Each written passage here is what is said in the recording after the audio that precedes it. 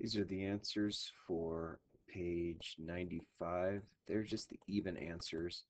You can find the odd answers in the PEF purple folder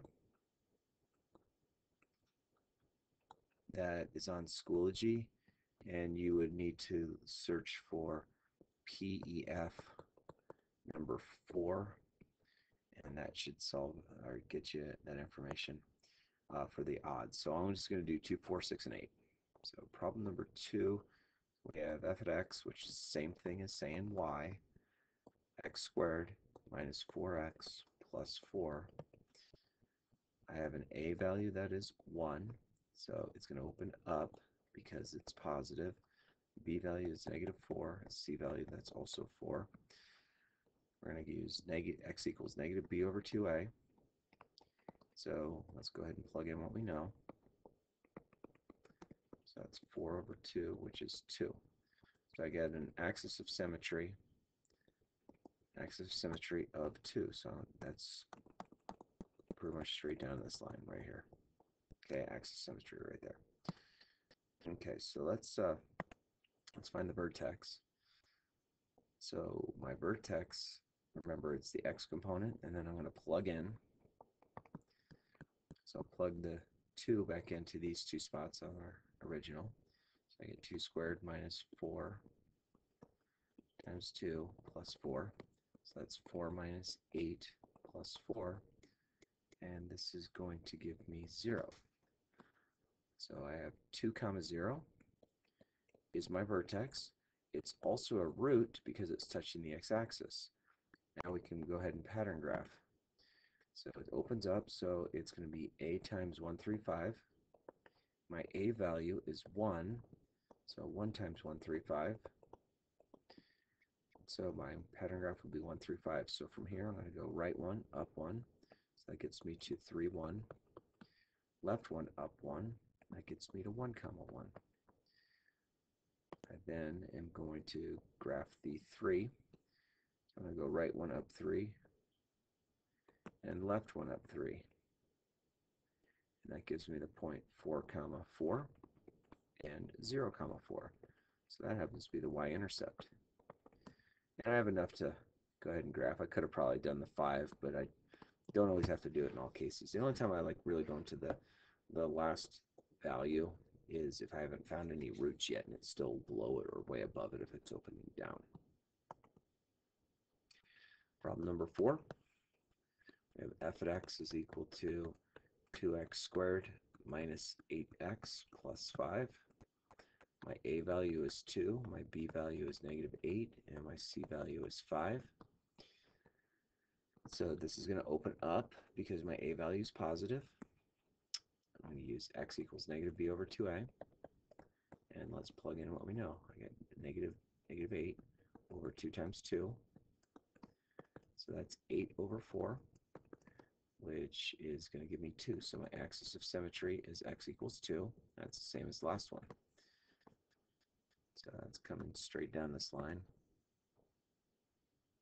Uh, let's make it the, this make it the dotted. Okay, let's find my vertex. My vertex is always the x component or is the axis of symmetry, and then I'm going to plug it in. We'll say pi for plug in. So I'm going to plug that into those two values. So I'm going to get 2 quantity squared minus 8 times 2 plus 5, which is going to give me 2 squared is 4, plus, or times 2 is 8, minus 16 plus 5. It's going to give me negative 8 plus 5, so that's negative 3. And so my vertex is at 2, negative 3.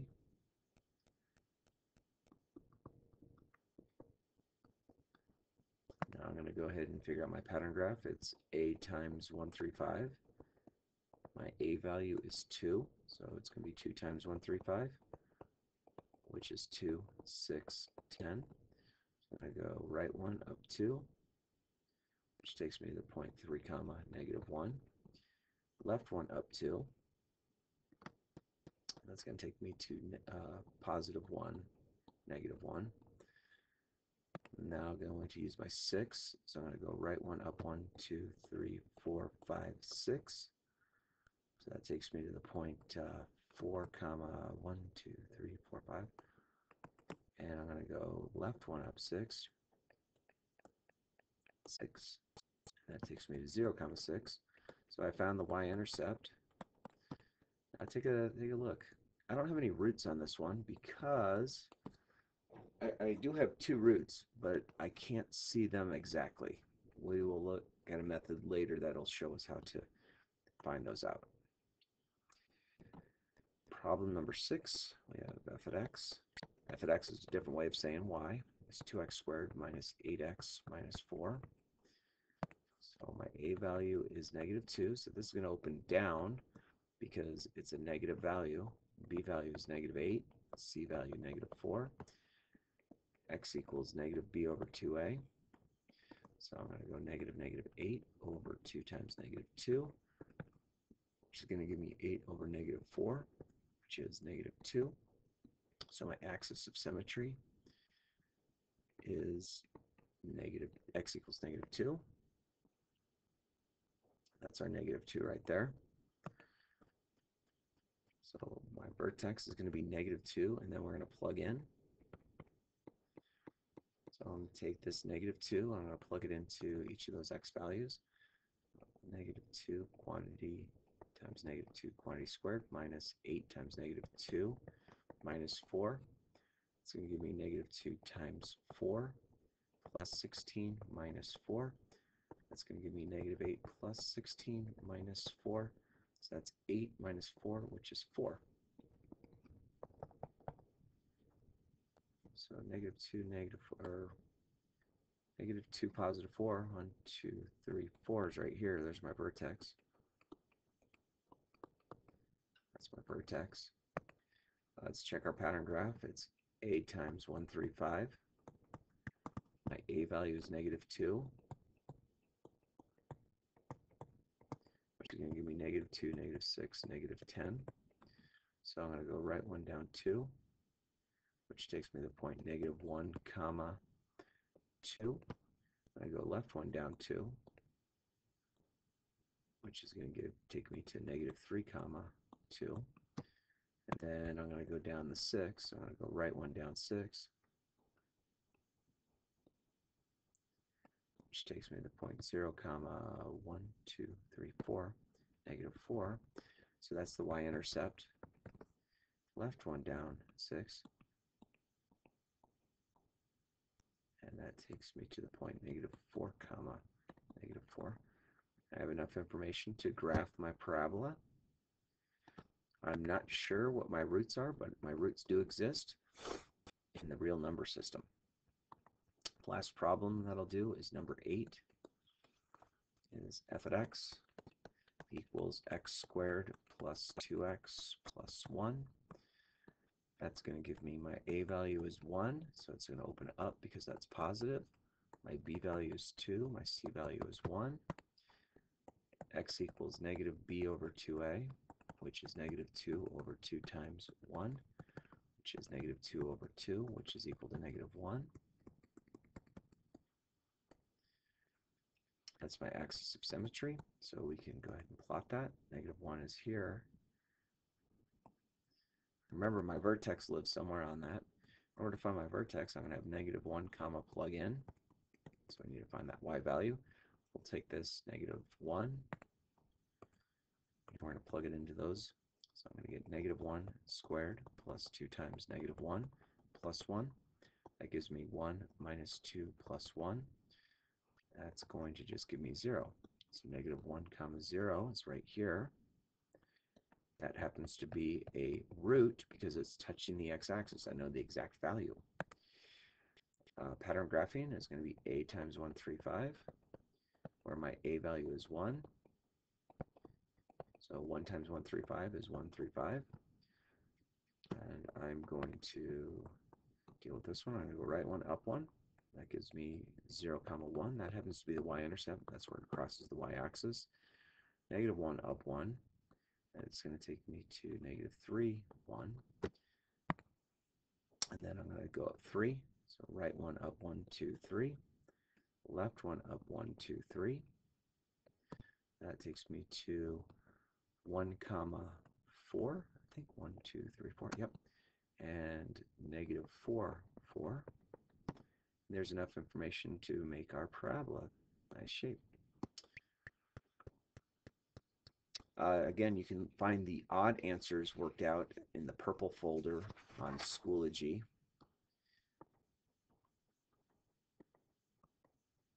And let's go back. Let's see if I can find the problem we have there. Okay. Um, we just have this problem here. This problem, if I factor it out, if I factor this, factored out looks like that. Remember, factoring is what I did in the last chapter, where I basically said, oh, okay, I'm going to multiply those together. That gives me negative 8. I know I have to alternate signs. So 1 times 8 and 2 times 4. This would work to add up to negative 2 as long as I had a positive 2x and a negative 4x. I'm going to squeeze that in right here. So that gives me x squared plus 2x minus 4x minus 8. Factor out an x because that's what I have in common on the first two. The negative sign comes through. Factor a 4 out. That gives me x plus 2. So I wind up with x plus 2 and x minus 4, which is the same as this. Now, if I had taken this and I had taken x minus 4 and set it equal to 0 and x plus 2 equals 0, if I add 4 to both sides on this one and I subtract 2 from this one, this actually yields me the point 4 comma 0 and negative 2 comma 0, which are my roots. My roots are where it crosses the x-axis. Okay, so we're going to build upon that idea when we do this, we can go ahead and pull this out. So use the function to find the zeros, aka the intercepts. That means I have to factor it.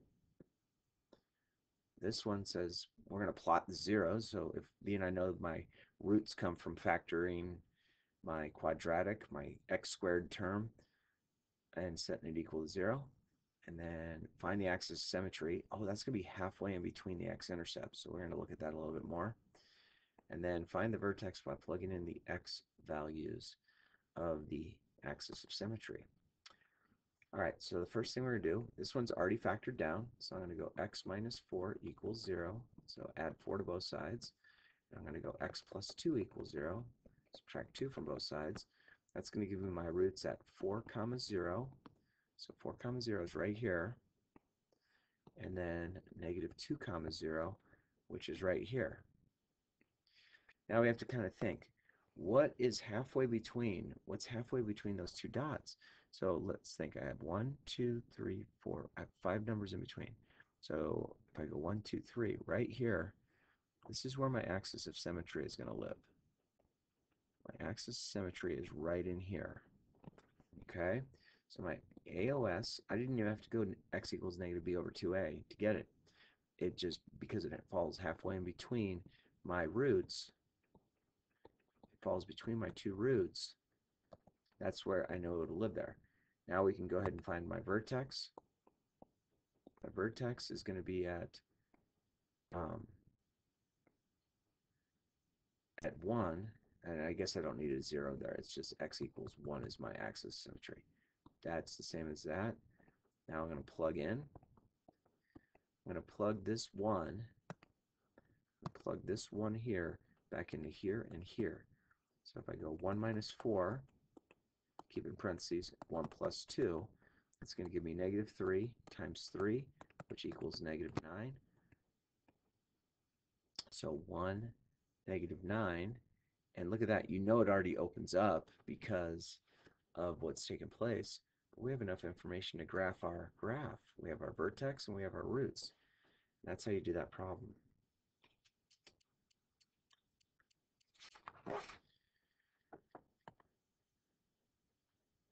Okay, on uh, page 98, this is the second example. So let's plot my roots first. So I'm going to go x minus 1 equals 0, add 1 to both sides. So that gives me 1 comma 0, which is right here. and then x plus 3, set it equal to 0. So that gives me x equals negative 3, so negative 3 comma 0. And let's think, right in between, I got one, two, three. There's three dots, so halfway in between those is going to be right here. That's my axis of symmetry. So my axis of symmetry, we'll call it AOS, is x equals negative 1. I can now find my vertex. My vertex is going to be negative 1 and then plug in. Okay, so I'm going to take this, I'm going to plug it in for both those x's. Now realize I have a 2 out front. That's going to give me um, negative 1 minus 1 and negative 1 plus 3. 2 times negative 2 times 2. Multiply these together. 2 times negative 2 is negative 4. Negative 4 times 2 is negative 8. So here's my vertex. Negative 1, negative 8. Down here. There's my vertex. And now I can see my parabola. I'm only using three points on these ones because I have the roots and the vertex. It opens up. It opens up really because that value was a positive 2. If you think about our last problem, there would have been a positive 1 right there, and that's what makes it open up as well. This one's going to open down because notice I have that negative right there. Our first thing, let's find our roots. So x minus 1 equals 0. Add 1 to both sides. That gives me 1 comma 0, which is right here. And I'm going to go x plus 5 equals 0. Subtract 5 from both sides. And I get negative 5, so negative 5, 0. And let's take a look right in between. I have 1, 2, 3, 4, 5 numbers. So go in the middle of it right here. That's going to give me an axis of symmetry at negative 2 my AOS is x equals negative 2. I'm going to plug negative 2. It's going to be my x component of my vertex. We're going to plug that in to my original. So I'm going to get the negative, negative 2 minus 1, negative 2 plus 5. That negative is still going to come along. That's going to give me negative 3. That's going to give me positive 3. So negative times negative is positive. That's going to give me just a positive 3. Positive 3 times 3 is 9. So I'm going to get negative 2, positive 9, which is up here. And here's my parabola. And remember, it opens upside down because that negative out in front of the problem.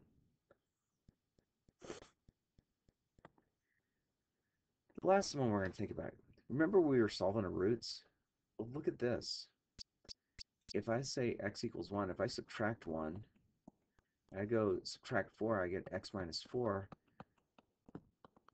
That's my that's my equation. If I wanted to write it in something called standard form, I'm going to multiply out this. So that's going to give me x times x is x squared, x times negative 4 is negative 4x, negative 1 times x is negative 1x, negative 1 times negative 4 is positive 4. So y equals x squared, these are like terms, minus 5x plus 4. And that's, this is my parabola with those roots. If I do the same thing here, that's going to give me x minus 3. When I subtract 3, that's going to give me x plus 3. So y is going to equal this. Multiply it out. So I'm going to get x squared plus 3x minus 3x minus 9. Those are like terms. Look, they cancel out. x squared minus 9. That is my that is my quadratic in standard form. Quadratic meaning it's x squared. So then we have x equals 0. Well, that's just going to give me x. And x minus 8 is going to give me the other one because I'd subtract 8 from both sides. So this one's a little different. So when it's equal to 0, it's just going to have x. And then multiply this out, so I get y equals x squared minus 8x. And that is my parabola. Notice I don't have a c term. That would be 0 in this case. Okay, so your homework, we're going to do page 101. And I think if you did 1 through 5 on 101, and then on page 102, I think you can do 13 through 19. So do 1 through 5 all, and then 13 through 19 all. Make sure you ask me if you have any questions. Have a great day. Bye-bye. Bye-bye.